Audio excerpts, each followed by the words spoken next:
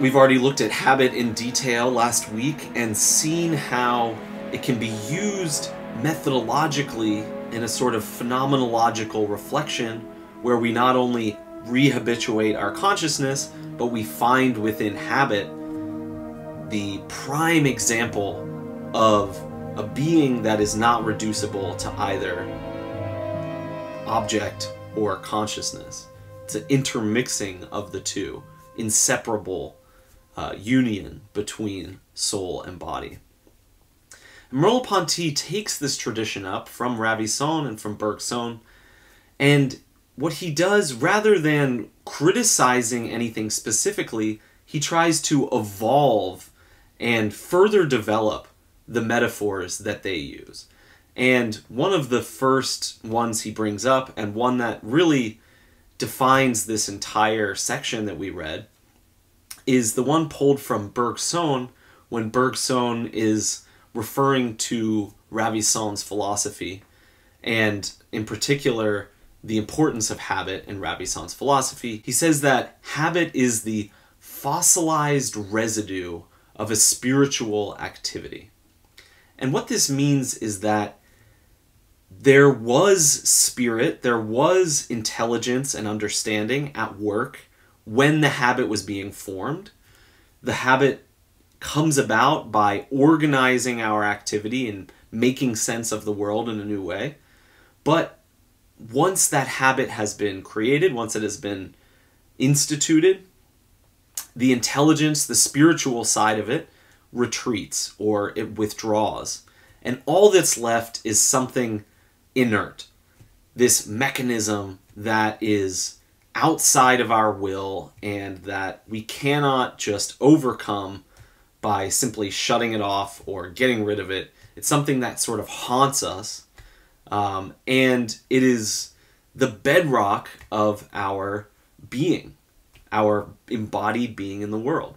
Our habits are this fossilized re residue of a spiritual activity.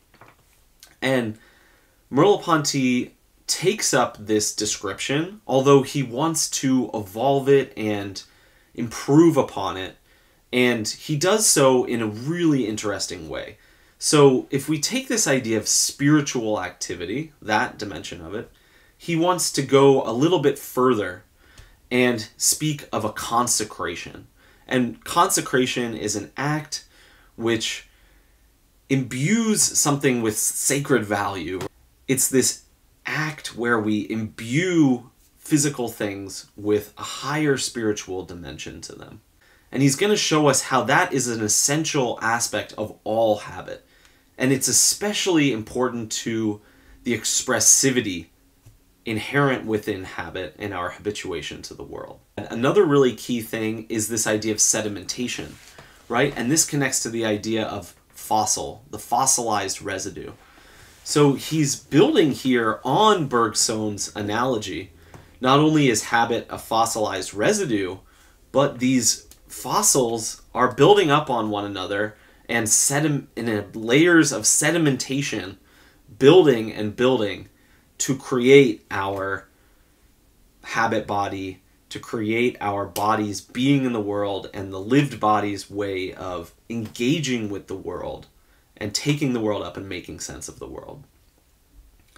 Now, he wants to question some of this overly reductive view that Bergson gives us that habit is a, is a fossilized residue and therefore it is something that we can dissociate from the spiritual activity. And that's what Merleau-Ponty is really questioning here. And it's already been questioned in the work of Ravaisson, and in some sense, Bergson himself leaves that space open. When Merleau-Ponty brings this up, this is on page 143, he says, Must we thus place an act of the understanding at the origin of the habit that would first organize the habit's elements only to later withdraw from it? And there he cites directly this passage from Bergson. So, is it the case that understanding somehow, you know, coming down from above is engaged in the activity of producing habit and then withdraws from habit, and habit is really just this effect left over in the body that is semi detached from our autonomy and from our will and from who we are.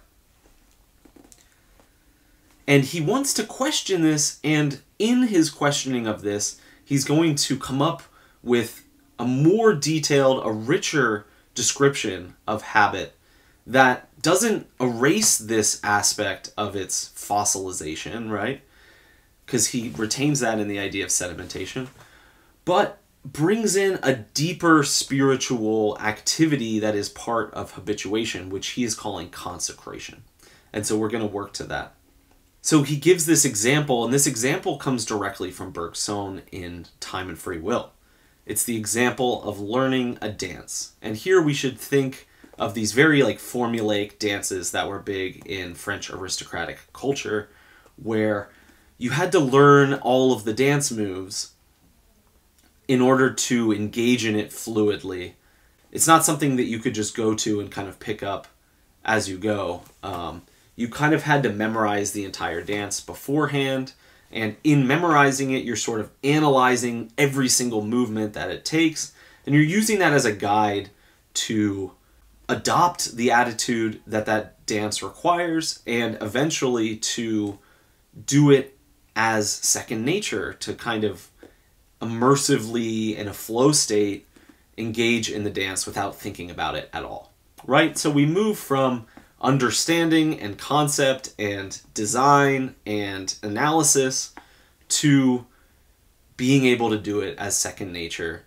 And that second nature aspect of it, as just being able to do it, is the kind of fossilized residue of that spiritual activity. And Bergson, when he analyzes this, talks about the feeling of grace.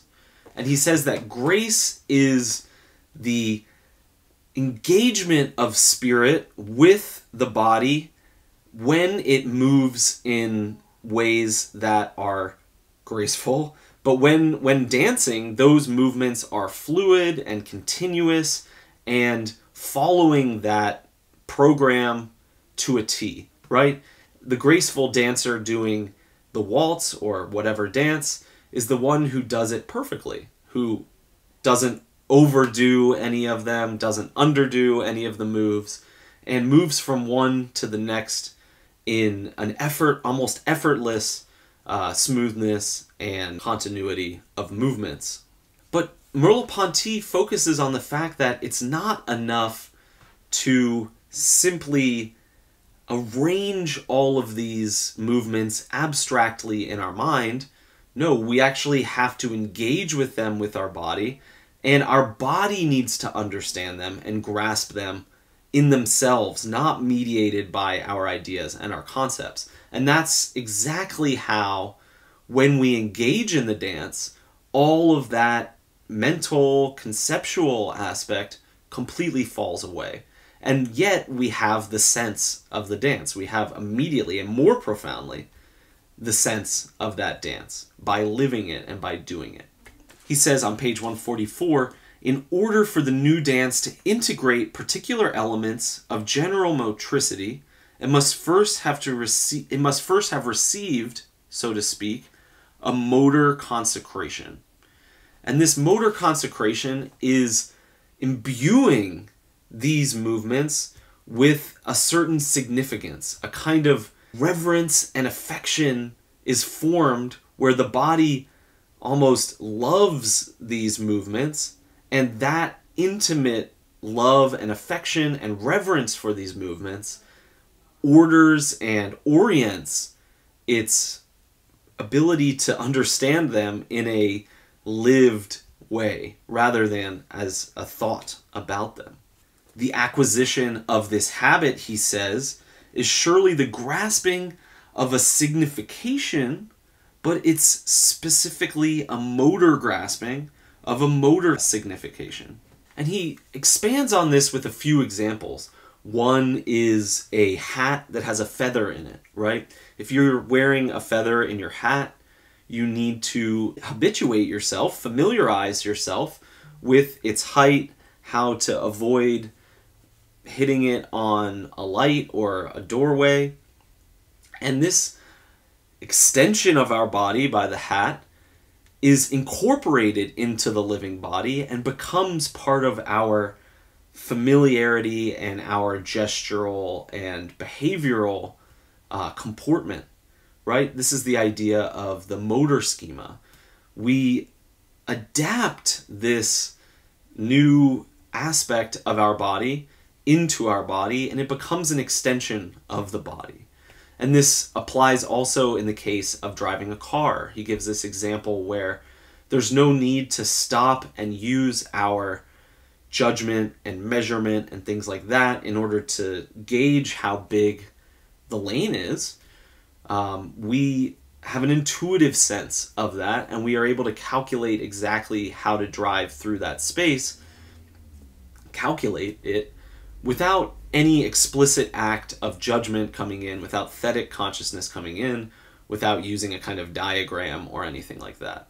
And this is also evident in a person using a cane. The cane is not uh, something that they have to calculate the distances with or translate the signals that they feel in their hands into some external image of the thing out there the cane integrates into the system of the body and becomes an extension of the body itself. And of course, the cane is moving, so it's something motor, but it's also sensory. It's immediately showing the person what is around them. So the sensory motor circuit are very closely intertwined, and the cane itself becomes an extension of the motor schema by being engaged in the world directly. He says, to habituate oneself to a hat, an automobile, or a cane is to take up residence in them, or inversely, to make them participate within the vol- voluminosity of one's own body. Habit expresses the power we have of dilating our being in the world, or of altering our existence through incorporating new instruments. And what this means is that when we acquire a new habit, it's not as if we have simply taken on a new reflex, but instead we have opened up a new way of looking at the world. We have reorganized our existence such that we can engage with existence in a new way we didn't have access to or understanding of prior to that habituation. this is where we start to come to this idea of consecration. This comes from a really interesting and insightful example that Merleau-Ponty gives us of an organist who plays on a new organ for the first time. Now we really have to think about what this entails because if you've never encountered a church organ or if you don't know its specifications, they're highly complex, right? And there's multiple layers of what's going on here that are important. You know, on the one hand, the organist is able to do something incredibly complex. There are oftentimes four keyboards for their hands that they switch between. And there is a pedal board, and they use both of their feet to access those pedals. So oftentimes they will be playing a bass line with their feet, a rhythm line with one of their hands, and a melody line on another keyboard with another hand. And that's already an incredible feat of coordination and you know, it's as if one person is four people. It's incredible. Or more than four people. But there's another level to this example that is really important for the idea of consecration. So, one of the things about a organ is that it has many different sounds available to it, and these are called stops. The stop is a lever that the organist will pull in order to turn on a certain sound or turn it off. And you can think an organ has some sounds which imitate flutes. It has some that imitate strings, some that imitate trumpets, some that imitate woodwinds. Um, and then it has settings that incorporate all of them. And each one of these stops, each one of these settings, each one of these voices has a different feel to it. It has a different mood, it has a different energy level. If you play a melody with the trumpet sound on, it's going to sound a bit more lively, a bit more intense, versus the flute setting, which is much softer and more docile and more soothing. And then if you pull all of them, you get the plenum of all the sounds at once, and it's very intense. Just like an uh, orchestra, you've got lots of families of sound here. An orchestra has this, the woodwinds, and so does an organ, a clarinet, French horn.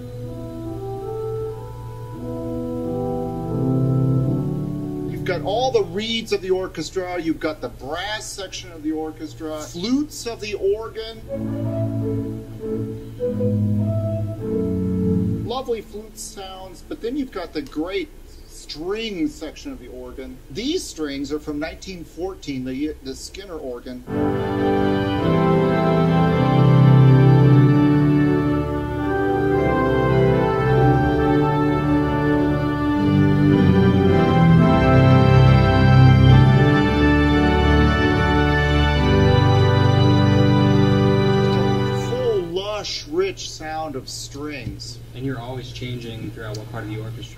Time. Yeah, you're always changing the sounds because you want the organ to be as expressive as possible. That's why it's great to uh, support a thousand people singing their hearts out because the organ can can support them and make them sound better. What exactly do these buttons do? And, and these.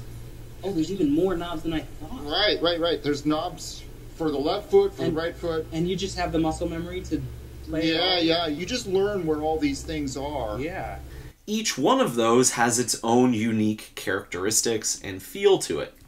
Now, when you go from an organ in France to an organ in Germany, very likely the inventor in each of those instances is either French or German and uses a totally different layout. Sometimes these are very different, especially if you think of someone in, you know, the 19th century going to use an organ from the 14th or 15th century, right? A really old organ.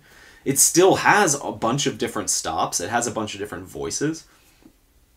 And things are laid out slightly different.